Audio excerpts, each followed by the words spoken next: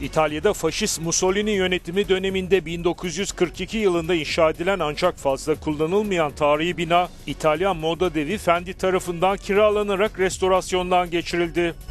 Tarihi bina Fendi tasarımcıları tarafından artık moda merkezi olarak kullanılacak.